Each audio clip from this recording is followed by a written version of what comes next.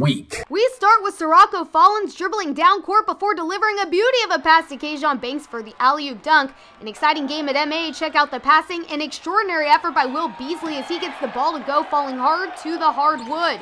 Los Gatos giving it everything they got in the final seconds of their game. Check out Josie Despairs launching a half-court shot at the end of the game. Josie Despairs, everyone.